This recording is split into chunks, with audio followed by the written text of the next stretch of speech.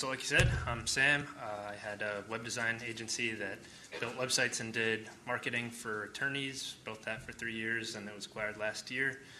Um, now I have a new company called Offsprout, which is a website building platform for design agencies. So that's a little bit about me. Um, and today I'm going to talk about some lessons that I learned building that agency and going shifting from a freelancer to uh, more of a agency owner.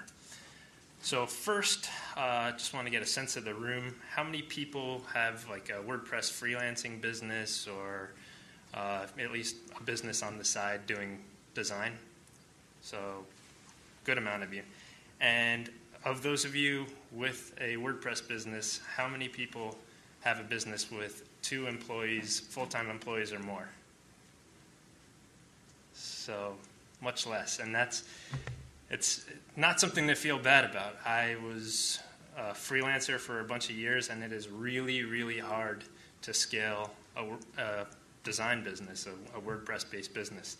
And so I kind of want to talk about how we figured out how to how to scale and grow that.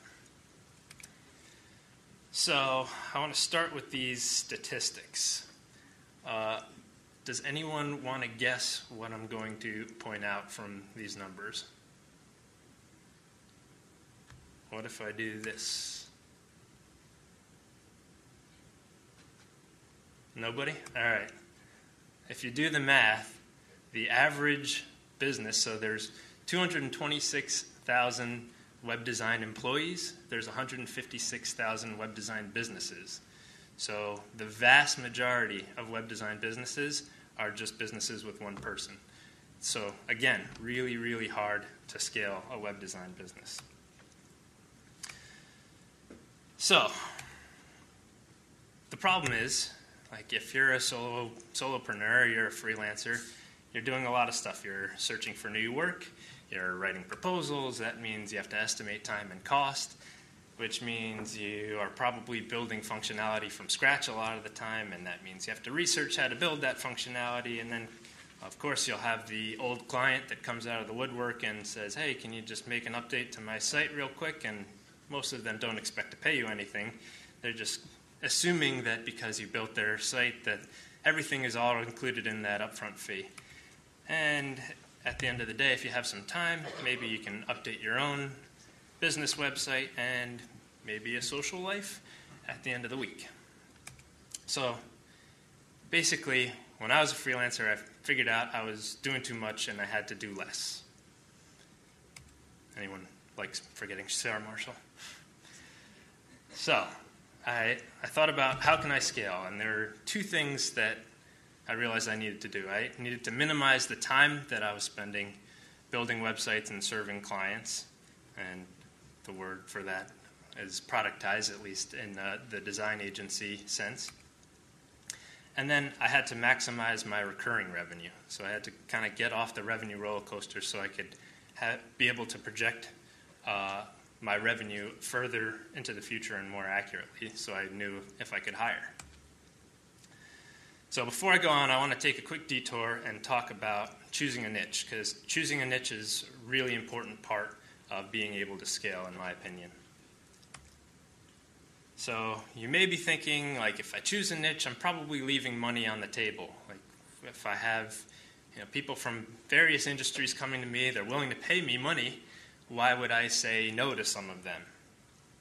And there are a couple reasons. The first is it's easier to market. So let's say Sally is a restaurant owner who needs a website, and she's contemplating two options. One is a design firm, Joe's design firm.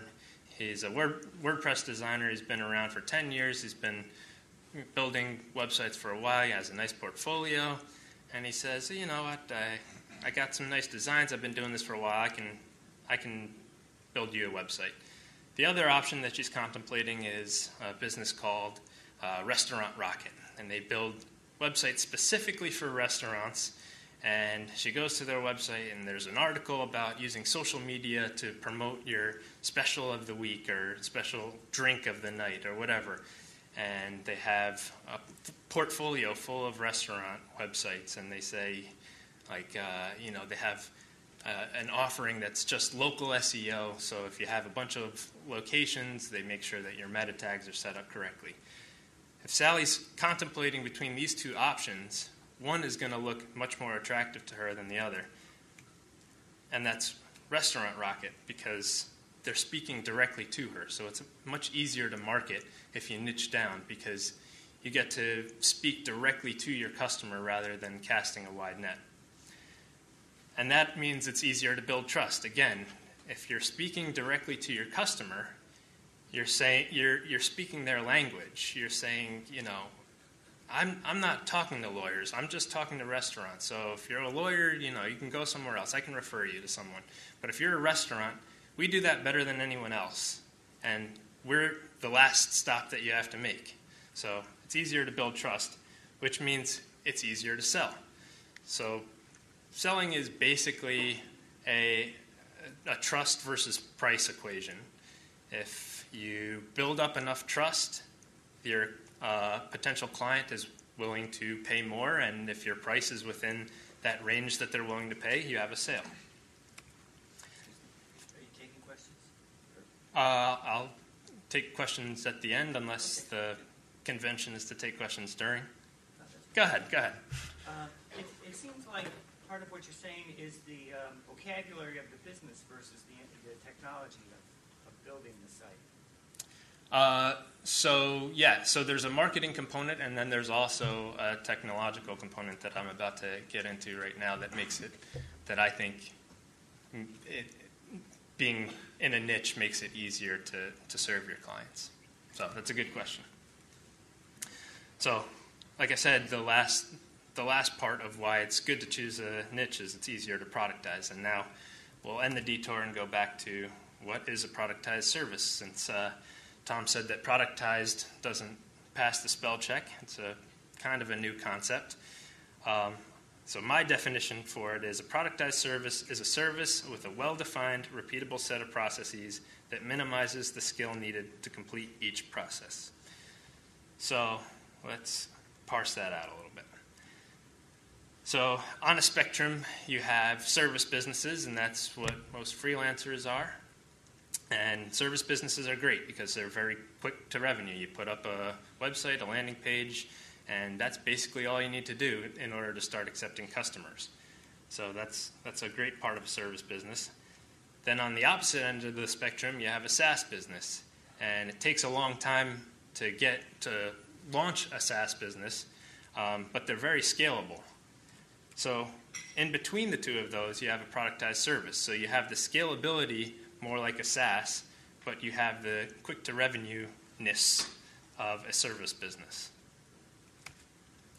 And to distinguish between a service and a productized service, the main distinction is that in a service business, the client will dictate the scope. So let's say you have a business and an interior decorator comes to you, they want to build a website and they say, I, I, got this great idea. It's a social media wall, and we're going to draw in posts from Pinterest, and going to draw in posts from Twitter and Instagram, and I want all that in a nice masonry grid on my website. Price that out for me and come up with a proposal. And so you say, okay, that sounds awesome. I'll get you a proposal by end of day tomorrow. And you, you go and you know, the guy said price it out separately. So you go, you do the proposal, you say it's going to cost $3,000 to build this social media wall. Bring that back to the potential client, and he says, well, $3,000, that's, that's a bit much. What if we just do Pinterest? And you say, okay, great. I'll get you a proposal by tomorrow. So you go back to the drawing board, you find a plugin, draws in Pinterest pins, and you say, okay, that's going to cost you $1,000, not 3000 says, okay, great. And I assume that that can just draw in pins from just these two boards and not my entire Pinterest account. And you say, uh, one second, let me, let me check. So you go back to the drawing board. It turns out that the plugin that you were going to use doesn't do what he wants you to do, so you're going to have to customize the plugin. You go back to him, it's going to cost $2,000. And he says, you know what? Forget about it. We'll just skip that for now. So you've just gone and done three proposals, three versions of the proposal, and you have zero additional revenue. That's what happens when the client dictates the scope. In a productized service, you dictate the scope. So you say, you know, I build websites for attorneys. I know that attorneys are going to need attorney pages, they're going to need practice area pages, they're probably going to need an attorney directory that allows them to filter by position. Uh, they will need some sort of local SEO. They probably want some reporting tools. This is what I offer. If you need that, I'm the place to go. If you need something else, I can refer you to someone. So you dictate the scope. That means that service businesses are much more variable and productized services have very little variation. So, once you get that small amount of variation, you're able to break down what it is you do into very component parts, very specific processes, and then you can break out those processes and say, okay, this process uh, requires a lot of skill. Like, you know, this needs a designer. But these, all these processes don't re- require that much skill, and I can just outsource these to someone. I can get a freelancer who will do this. Um, I can get a contractor or whatever. I can even get a VA, depending on the level of uh, skill required. So here's, here's one thing that you have to do for clients, right? Build a site. But really, you can break that down into a bunch of component processes. So you send a getting started guide to get the client preferences, you get that back, you record those design preferences in something like Trello where you do your project management, and you create the site, you add all the pages that they need from their sitemap, you implement the design, you add content, complete revisions, launch site. So if you look at that, and this is simplified a bit, but if you look at that, really only two of those processes require a bunch of skill. Implement the design, that requires a designer, right? And then complete revisions. There are likely to be design revisions, and so the, again, that re- requires a designer. But look at all these other processes that you're that you have to do to build the site that don't really require any skill. You can just document all of these pr- procedures in something like Process Street and get very finite and very specific with what it takes to do this. And so every time you need a contractor, you just send out this process and it has all the instructions and it's really kind of foolproof at that point. And you can just outsource all of this stuff and do the parts that require a lot of work. And if you remember, there were those two parts that required more skill, but we can actually dive into those two a little bit deeper. So if you try and break up implement design, it could be apply site template, apply page templates, add attorney directory, and customize. So again, if you're niched down, all of your clients are attorney clients, they basically need the same thing every site. I mean, every client wants to think that they're a unique snowflake, but if you have a web design business, you know that there are a lot of things that you're doing over and over again for each client. And if you have a set of templates and you're just customizing from that set of templates, that's going to get you, you know, pretty much all the way there for a majority of clients. So, again, we separate implement design, we separate complete revision into uh, revising content and also revising the design. And again, if we look at these, only two of these processes require a bunch of skill customizing and revising design. Those re- require a designer. But all of these other ones don't re- require as much skill. So again, you can outsource that. And also, it becomes a lot quicker to do stuff like this because everything is procedurized, everything is documented, everyone knows exactly what they're doing. You can just knock it out really quickly. So, how do you design an offering that's so repeatable, and won't there be pressure to expand that offering? Uh, yes, there will be pressure, but if you go into it uh, with one of these three strategies, you can probably uh, keep your offering pretty contained. So, uh, the overarching concept here is stay focused. you want to be able to serve your clients as quickly as possible, um, and you want to try and maximize the profit that you can make so that you know you, you can hire and expand, um, and resist the urge to expand your services too much. So, strategy one is the essentials. So if you're creating your offering, you can have an essential strategy. That's basically just the site design. So you have a site design, you have the features that your client is going to need. Uh, you don't do any marketing, but you say, okay, you're you're a client that just needs uh, a site. I'm your guy. I can do that. I can build you a beautiful site. It's not going to cost you as much as some of my competitors because I have all these efficiencies built into my process. So I'm going to start with this essentials strategy and just try and do volume with the essential strategy. So you're just doing the site design, you forget the rest. Strategy two is you start out with that same small core of the site, but then you add a mandatory premium component. So again, if we go back to Sally, the restaurant owner, maybe you're the type of business that says, okay, we build you a site, but we also we know that in order to be a successful restaurant, you're going to have to do some social media marketing. And so if you're going to work with us, we, we do this social media marketing better than anyone else. We'll post to your Twitter several times a week. We'll, you know, we'll have an email marketing list where we blast out your specials on a weekly basis. And that's a mandatory component because we've seen that uh, the clients that are most successful have this, and so we don't even work with clients who aren't serious about, you know, building up their online presence anymore. But if you are serious about it, come to us, and you know, we'll we'll do your social media marketing. So mandatory premium component, and you tell the client they can take it or leave it. The last is a combination. So it depends on what your market is. Some markets are big enough that you can have a take it or leave it attitude about a premium component. Others you might want to uh, have separate tiers. So you could have the core tier, and then you could have bundle tiers that bundle those premium components. Um, it's also kind of what your risk tolerance is and how long you want to wait until your business is really into gear because you're going to be turning away a lot of business if you just uh, work with people with the premium component. On the other hand, that is a good way to quickly build up your recurring revenue. And um, no matter what uh, strategy you choose, you want to make sure that everything that you're offering is repeatable. So remember how we broke down the process of designing your site.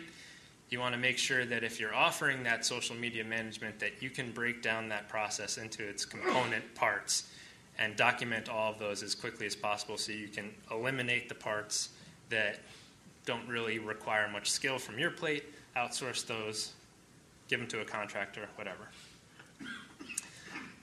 Um, the next part that's really important, and I've seen, I, I, think this might be the number one mistake. It was certainly my number one mistake as a freelancer, uh, not paying attention to recurring revenue. Recurring revenue is the lifeblood of a scalable web design company. It allows you to forecast your revenue more accurately and further into the future, and it allows you to build revenue month to month so that you're not dependent on lead flow. You're maintaining a client list, and so your revenue can build over time, regardless of whether your lead flow builds over time. So, to illustrate this, let's uh, take two examples, two different strategies, uh, businesses trying to make $10,000 a month. So, business one, they sell a website for $2,500, but they don't charge recurring revenue. So, in order to make $10,000, they need to sell four websites. Business two, on the other hand, they use a tier strategy. They have 20 clients that are on a $100 a month plan. They have three clients that are on an SEO plan that they charge $1,000 a month for. So they go into the month with $5,000 in recurring revenue, which means they only need to sell two websites for $2,500 each in order to get that same amount of revenue, that $10,000. And that's huge. That means you have to drive half as much traffic to your website, you have to do half as much networking, you have to do half, you, know, you have to close half as many deals in order to make the same amount of revenue. So it's it's absolutely huge. Can't stress that enough. And if you expand that out over time, you can see this is basically the same amount of business. It's just business two is charging recurring, and you can see their revenue uh, goes up over time, whereas business one just oscillates around um, uh, one number depending on what the lead flow looks like that given month. And if you're wondering what you can charge monthly for, there are a bunch of different things. Um, the first is hosting, security, backups, maintenance. So you can have a WP Engine account. They take care of most of that for you. You can stack a bunch of different clients on one account, and you up upcharge for that. But it takes that off your client's plate. Your client really doesn't want to deal with hosting and maintenance, even if they say they do. When it comes down to it, unless the client is really technical, in which case they probably wouldn't be coming to you any, anyway, they don't want to deal with hosting. The second is customer support and website changes. So clients don't really realize that they need this until they need this. It's kind of like insurance. You don't need it until you need it. But I'm sure all of you have experienced a client that you charged a one off for, and then they come back a couple months later and say, Hey, I want to just make an update to my site. Can you do this? And if you're nice, you say yes. If you're strict, you say yes, but it'll cost you a couple hundred bucks. Uh, and if you're busy, you say no. And so if you impress upon that client, look, you a couple months down the road, you're going to come to me and you're going to need something. You want to have a number to call. You want to have an email address that you can send an email to and say, hey, I just need this quick change. You don't want to have to go to a freelancer. You don't want to have to find someone else. You don't want to worry if I'm available. For a nominal fee, I'll be there. I'll get the change done the next day. So that's a pretty big selling point if you can frame it the correct way. Another thing that you can charge for is reporting and analytics. Um, if you have, you know, uh, some SEO tools, you can generate those automatically each month, and then you're essentially just charging for those. Uh, that's also a nice value add, and it can show what you're doing for your client or how much business uh, the website is generating for your client if you have a multi-site, like uh, if you have all of your clients on a single multi-site, you might be able to charge for ongoing platform improvements. So it could be, you know, a new caching plugin. It could be um, new reporting tools. It could be new SEO tools. And finally, the obvious, you can charge recurring for marketing services, SEO, social media management, etc. And finally, uh, we did have some lessons learned in the actual acquisition process. So, one thing is, again, niche was a big factor. That made us a much more attractive acquisition target because there were uh, alignments with a bunch of other larger companies in the industry. So, we could partner up with um, practice management software companies in the legal space, and we would exchange leads back and forth with a bunch of different companies, and so we were constantly in communication with these companies, and they, you know, none of them really offered web design services. So if they wanted to expand their business or hedge a certain part of their business, they could come to us, and you know, we might be an attractive target, and we were an attractive target for uh, a business in our industry. Another thing, again, recurring revenue. We had a book of business. We had, you know, X amount of recurring revenue. So when the uh, company came to us and we talked about the acquisition, they knew uh, that they could depend upon a certain amount of recurring revenue each month. So was, they were buying more of an asset in that sense rather than just a you know a, a marketing plan that was generating leads. This one is a tax consideration. So use a separate business entity. So if you have a WordPress plugin business and you have a WordPress design business, the chances are you're not going to get a company to come in and uh, want to acquire both of those. They're going to want to acquire one or the other. If you have them combined into one entity, you're forced to do what's called an asset purchase, which has a less favorable tax treatment than if you have that broken out into two separate entities. So if you have two LLCs, you can sell off an entire LLC and then you get a cap gains treatment. If you do an asset purchase, it becomes trickier. You can get cap gains treatment, but you have to do some accounting tricks in order to make it happen. So separate your businesses if you think that one is going to be an attractive target. Keep good books. Uh, due diligence took about a month, and they asked for everything. So we gave them access to all, all, our Stripe account, our Xero account. They went through everything, and if we hadn't had our our books in order, I'm not sure that the deal would have gone through because they were very concerned with making sure that they could see our numbers and, and verify that what we were telling them was actually what was going on within our business. So keep good books. I know it's a pain in the butt to, you know, open your Xero account or open QuickBooks or take pictures of receipts, but it's very important. And the last one is kind of a wild card be an authority. So we had a pretty well trafficked blog, or we still have a well trafficked blog, and we had built up some brand recognition in the industry, and that was a, a, another big part of why they liked us, is because they could acquire that brand and have that improve their own brand equity. And if anyone actually liked this presentation, uh, I have a course. Uh, the coupon code for uh, it's a free free course if you use the coupon code uh, BWP 2017, um, and you can get more information. I kind of expand on some points there. Again, it's it's free with that coupon code.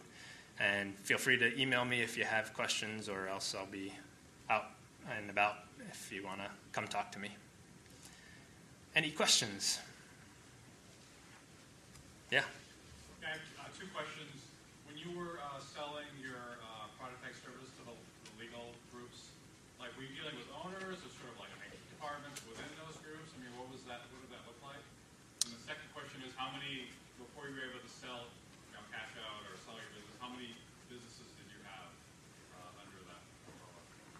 Uh, okay, did everyone hear the question or should I repeat? Everyone good? Um, so, um, we had two businesses under the umbrella, and we dealt with the founder of the company. It was it was a larger company than ours, but not like a giant company. I think if it was um, a giant company, well, I mean, in, our space, I, can't think of too many businesses that would have bought us out where we wouldn't be dealing with a founder. I mean, there are a couple, but um, I'd say if your acquirer is 100 or less, you'll probably be dealing with um, the CEO or at least like VP of BizDev. Does that answer your question? Uh, I'm not sure. I meant, meant to ask when you were building the niche, building the products, or how many actual attorney groups did you have under that product service? Oh, how many clients? Yeah.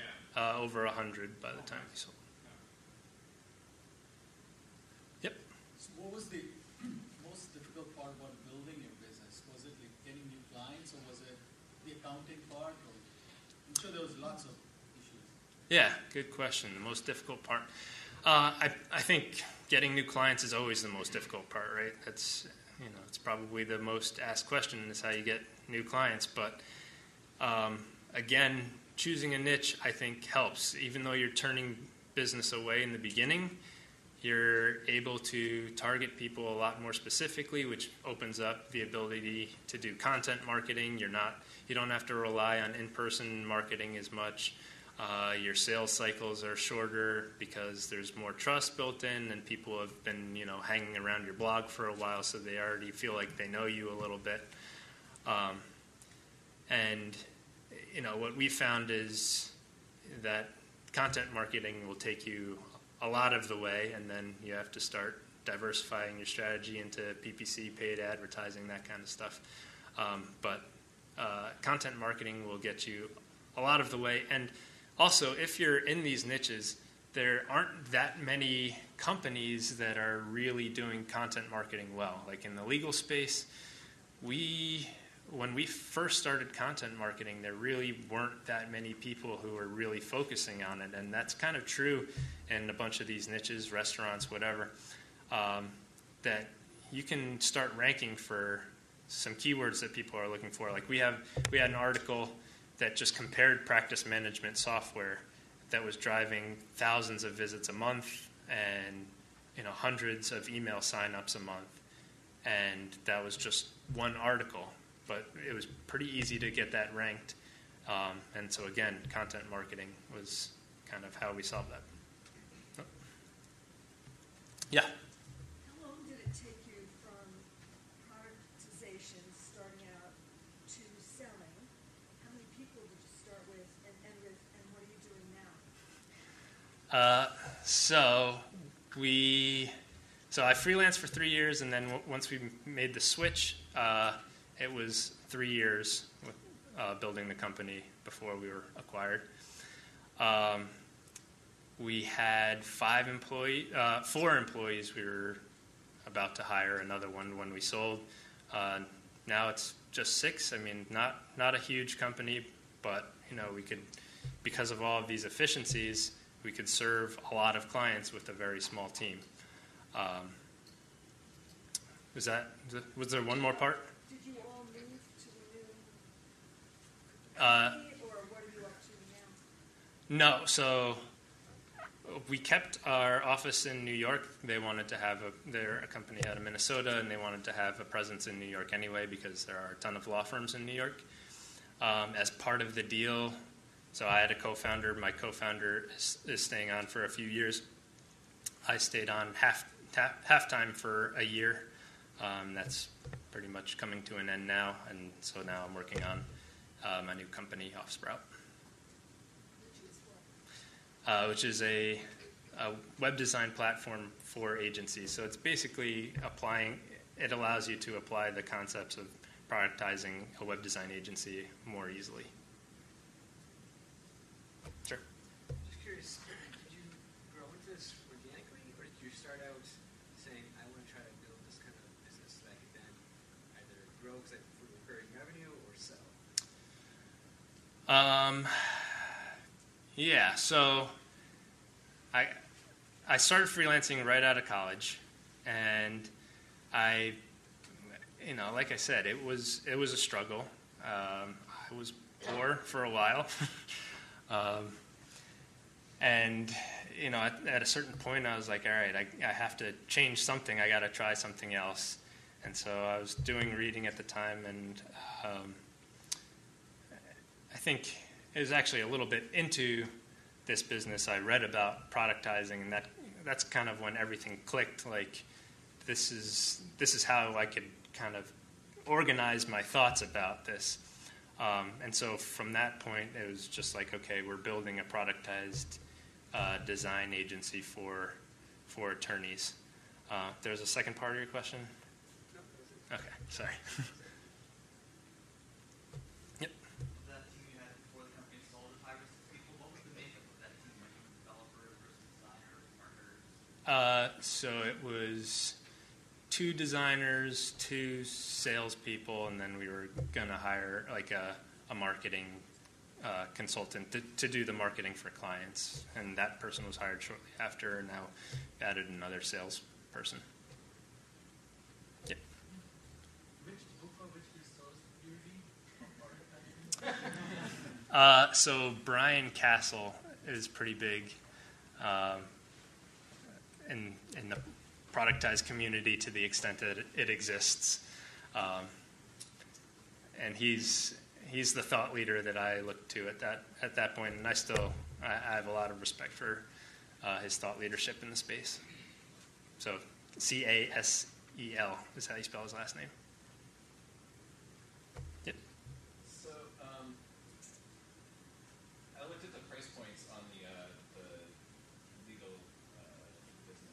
on JurisPage. Wondering, I guess, in a world of WordPress and Squarespace and Wix, like, how do you keep that sense at a higher price point that you're really doing something custom? Um, while it sounds like what you're basically saying is make everything a template that can be a template.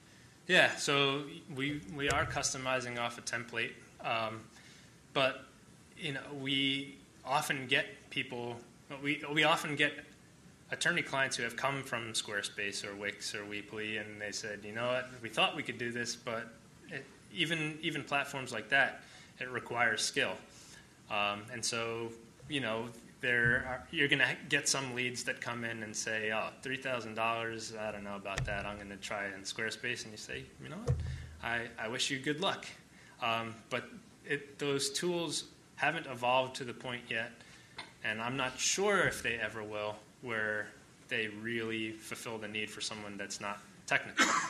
and so if you can kind of clearly and gently say that to your potential client, um, then you can kind of show the value that you're providing. And again, even though clients want to think that they're unique snowflakes, and you can you can customize a template to to meet their needs. They're not a snowflake; they're a pizza, right? You're just putting toppings on the pizza, and you say, "Oh, you know, I, I know you love pepperoni, so I'm adding a little extra pepperoni to your meat lovers pizza just for you." So. Anybody else? All right. Thanks, guys. Appreciate it.